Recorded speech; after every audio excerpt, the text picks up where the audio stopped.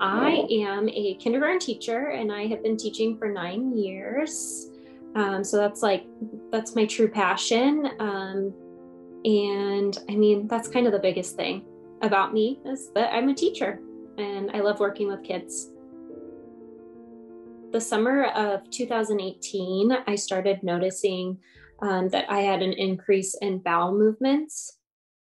And it just slowly got worse and worse um, to the point where I was going up to 20 times a day. And so, uh, January of 2019, I kind of finally said, enough is enough.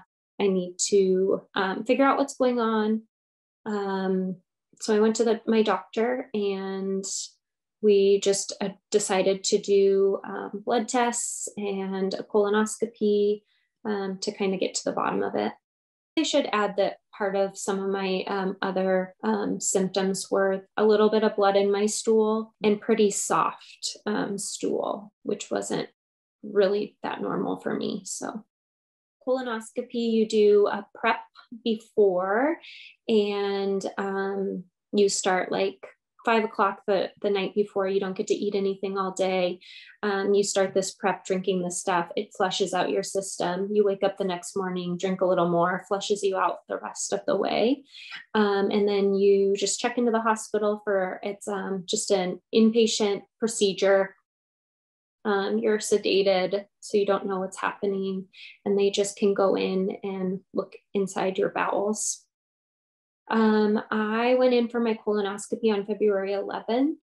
And, you know, um, when I went in for it, I was actually really cons- worried that they were just going to say, um, we didn't find anything. We don't know what's going on.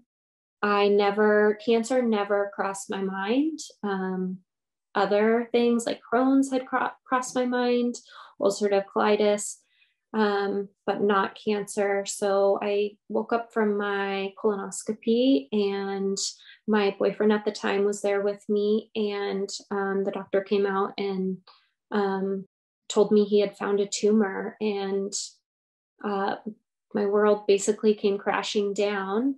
Um, that was not what not, not the news I expected to receive at all. Um, he was, they hadn't even done the biopsy, but he said, um, you know, I've seen this many times before, and there's not a doubt in my mind that it is cancer. Um, so from there, everything was fast tracked. I went straight in for some blood work, and um, everything just went really fast from there. You know, I went from you have a tumor to calling my parents and letting them know what they had just found. I started with telling my parents because I am extremely close with them. So they knew I was going in for the colonoscopy. They knew I'd been struggling um, with uh, the, my problems. So um, that was an instant for me to call my parents.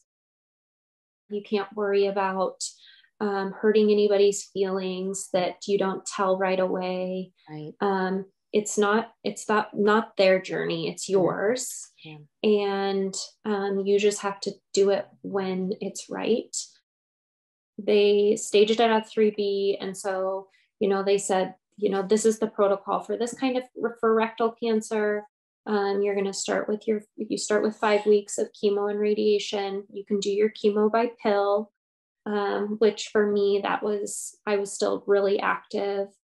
Um, so that was what was perfect for me. But I had to take it five days a week for five weeks. Um, so I got the weekends off. I really had not a lot of side effects. Um, and I did really well. I was going to the gym every day through tr- that first five weeks of treatment um, and continued my active lifestyle yeah. um, and teaching in the classroom as well. And did the radiation. It's nothing like you envision. I, you know, I, I don't know what I envisioned, but I didn't envision what happened to me. I mean, you just go in this room, they played the music I like, I laid on a table, and this big machine kind of went around me and made some beeping sounds, and then I was out. Um, it's silent, you don't feel anything. Um, you can have side effects from it, like burning. Um, luckily, I never experienced any of that. They said you'd have a small break, you'd go through a surgery, remove the tumor, um, have a temporary ileostomy, and then finish up with cleanup chemo. You know, for me, I just, I made a, I told myself early on I was going to make a positive out of a negative situation. And that was just being really open about my story, um, sharing so that hopefully, number one, anybody going through a tough time can be inspired, but also um, anybody going through cancer. We definitely, I definitely looked at other hospitals, um, but from the begin, that was more later on in my treatment. Um, in the beginning, I trusted where I was at. I trusted the doctors that I had. You know, um, there was a lot of research behind rectal cancer and the treatment plan. So I trusted the treatment plan. Um, I felt really great about my surgeon. He had just come from another area and um, came very experienced. So I felt really good about where I was at and all my treatment. All my doctors were amazing. They ended up removing my tumor and giving me an ileostomy. I ended up losing my large intestine and some of my small. So my ileostomy is not te- cannot be temporary. It is permanent. But for people going through this process, it would normally be a temporary thing uh, for about six weeks, and then you get reconnected back up. So that was a really hard time, probably the hardest part of my whole um, journey so far was um, this chunk of time that I had to spend in the hospital, being completely helpless and dependent on everybody. Um, it was a really difficult time. Um, and I came through a lot of things that doctors did not expect me to. When I went in for surgery, they didn't know that I would actually come out. The first thing I remember is trying to talk to everybody, and nobody could understand me. So I was trying to sign language with them because I teach my students how to sign, and nobody knew sign language. So then I was trying to write messages. Um, I was like super thirsty and just really uncomfortable and in a lot of pain. Um, and just really had no idea what had just happened to me. It, I mean, it still took being out of the hospital to under fully understand what I went through when I was there. Mine again was not quite straightforward. Um, I went a lot longer not being able to eat just because I kept they kept having to go in um, and I had to be, my bowels had to start working again, which took longer because I kept getting put under. Um, but your bowels have to wake up and they have to see a certain kind of output before you can try eating. Um, and then once you start eating, it's just learning how to manage your ileostomy or your, I mean, you can get a colostomy too. Um, but it's just learning how to manage that and change that and all of that stuff that comes along with it. I mean, I had no idea what a, an ileostomy even was going into this. And even when I was told in my treatment plan, I still didn't look it up. I figured I'll cross that bridge when it comes. That bridge, it came a little faster than I had planned. So I just woke up and I had this bag and had no idea what it entailed. I had a really amazing ostomy nurse um, who was very incredible and she helped, she taught me a lot.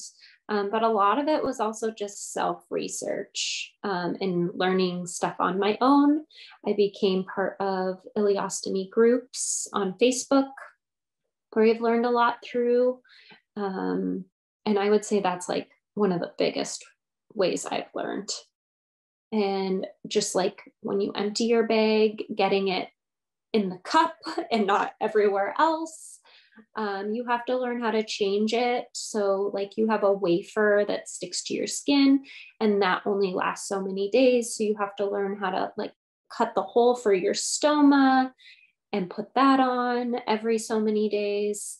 Um, so, I guess like throughout the process of being in the hospital, I was learning how to do all of these things as well. So even just like figuring out how to dress after was a really big obstacle. Um, and finding tools to help me dress and just feel normal. Um, you would never know I have my ileostomy just looking at me. Um, it's all very hidden.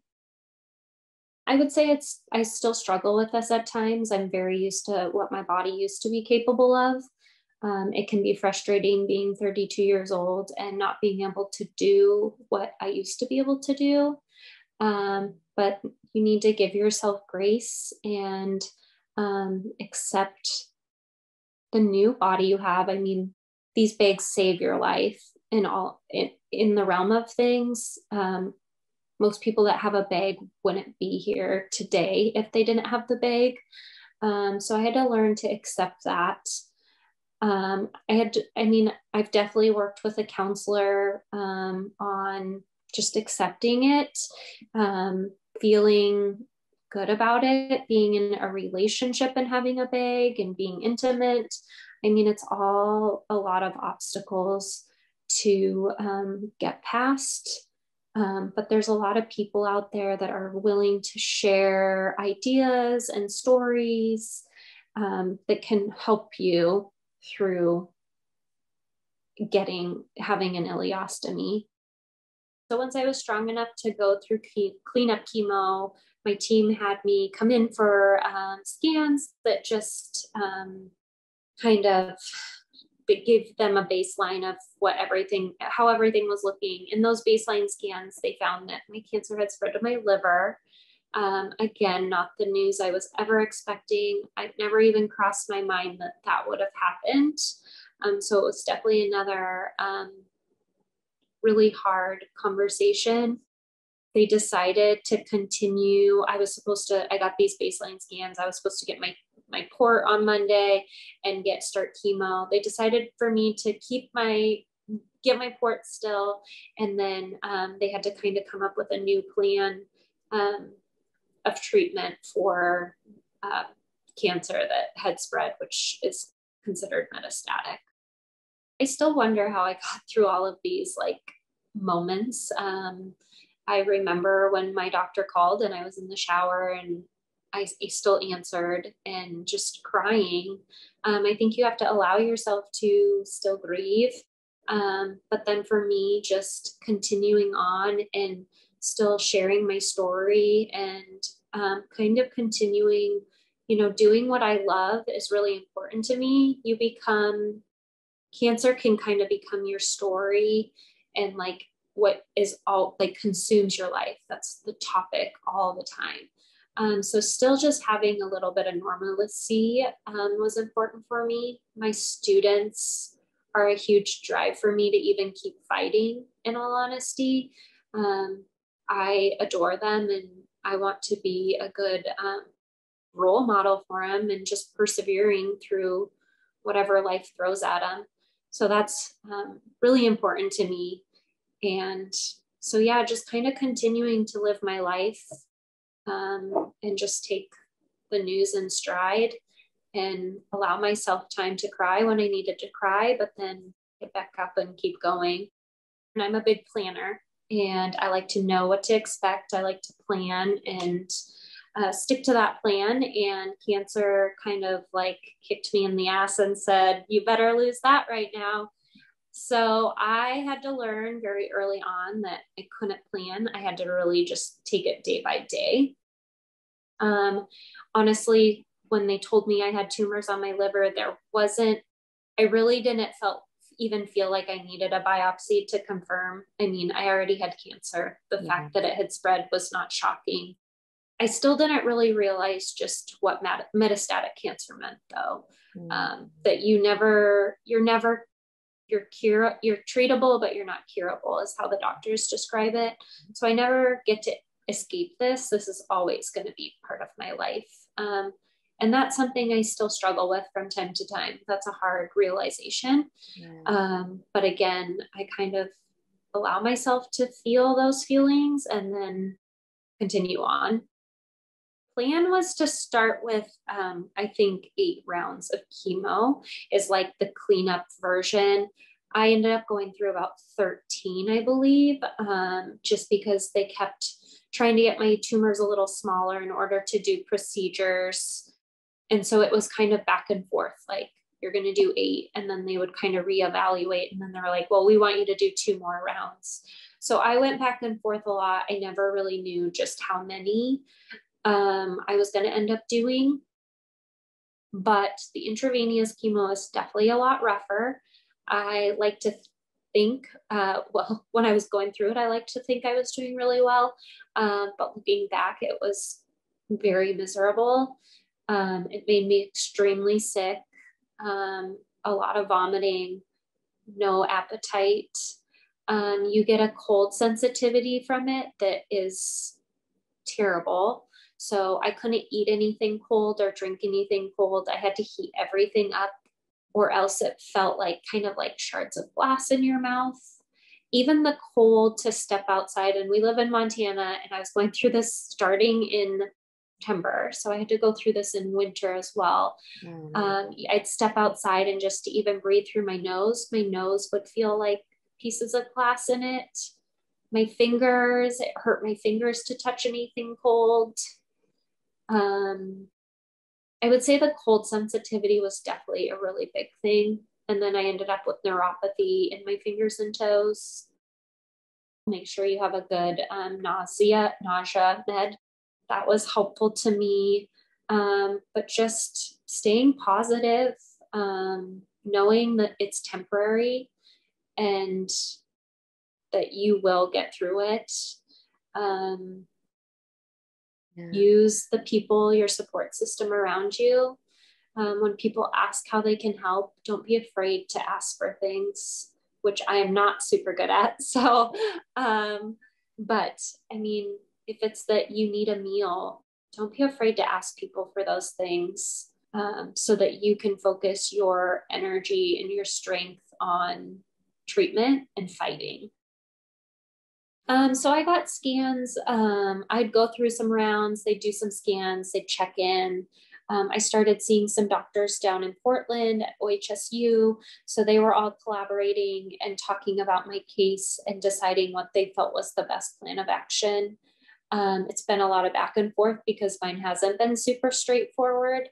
Um, so yeah, I would just go through. So they might like decide one time they're like, oh, do two more rounds and then we'll do scans. Um, so I kind of went through that a lot. So again, just having the, just being able to kind of take it day by day um, and one treatment plan at a time, not looking at the big picture, um, just kind of looking at, okay, what is happening now? Um, versus, okay, they're going to do this and then this is going to happen because that doesn't always doesn't always work out that way. I mean, there was a time I was going to leave for a procedure and they called me the day before and canceled it. So you just never, you don't know. And so I found that setting my mind to something didn't do me any good. So I went through targeted radiation and an ablation procedure as well uh, during that time. So ablation was done on my liver and targeted radiation, which is called SBRT, was done to my lung. SBRT was, I mean, painless. Again, kind of like radiation where you're just in there. I did have to do some breath holds. So I had to hold my breath for like 40 seconds, um, which was the toughest part. and I had to do that like 15 times per treatment. So I did five days of this. Um, and I'd come each day and go through the same thing but they just, I mean, they do some baseline scans and some mapping, and they give you your tattoos um, that help line them up. And then, yeah, again, it's just kind of painless and you don't really know anything's happening. So Y90 is where they insert radioactive beads into, um, they inserted them into my liver. Again, they did a bunch of mapping to kind of check um, through my arteries to check how my blood flow went through my liver. Um, they didn't want to put these beads in and just have them go all over um, and ruin parts of my liver that are still good. So they focused on my right lobe first and um, they put like a catheter in um, to block blood flow to certain parts of my liver. Um, and they do this all through an artery in your groin. And so it was like a day of all this mapping and then figuring out the best path to insert them. And then the next day you come back and they insert the beads. Um, it was an interesting procedure. I didn't realize how, um, just like going in through your groin, that major artery, how big of a deal that was and how serious that can be. That actually caused me the most pain. And that you're awake for it all because you have to hold your breath at times. So you're sedated, but aware and able to hold your breath. So, like, I can see all this stuff going on, um, which is a little freaky. Think about just that this is kind of like my new norm, I guess. Um, it's just going to be a part of my life appointments, scans, um, kind of a, a, a constant fear but also just being thankful that I'm here and embracing the time I do get, regardless of how long that is. Just listen to your body. And, you know, if you feel like something's not wrong, go to a doctor. And if they don't listen, go to another doctor. I've met um, other ladies on this journey that were not as lucky and did not have a doctor that listened as well. You know, it's easy for them to sometimes say, well, you're too young um, then they're not the doctor for you and you should seek advice somewhere else. But just being proactive, don't I mean, it's easy to worry about the cost of a doctor's appointment, the cost of a scan, but I guarantee you the cost of what you would get if you are diagnosed with cancer is far greater. Right. Um, so it's just important to just be on it finding the silver linings has been like my biggest um, my biggest thing and tool for getting through things. Like um, it's easy to get bogged down by all the crappiness and hard times um, but just being able to find little silver linings um, for me like my sister and i didn't have a relationship a very good relationship before all of this.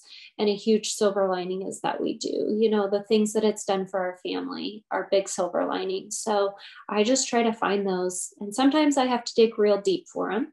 Um, there's things that have gone, happened, and um, I've had to dig deep for them. But I always try to find a silver lining in everything that I go through mm-hmm. um, to help me get through through it and just remind myself feel like when you go through cancer, you're constantly shielding everybody from your real feelings. You're shielding them from the fact that you're fearing dying. You're shielding them from the fact that you have a pretty major illness. You know, you're always shielding people and not getting to really express yourself exactly how you might want to. And a counselor is just a great way to be able to let those things out without having to protect anybody else's heart or feelings. You get to just go there and talk, and it can be what you want it to be. And I have found it very helpful. You know, it's your journey, and it's you'll you'll find what works for you. Um, but don't be afraid to reach out for help and ask for help. Um, there's lots of really great groups that you can find to help you um, counselors are very helpful um, and uh, just stay strong and positive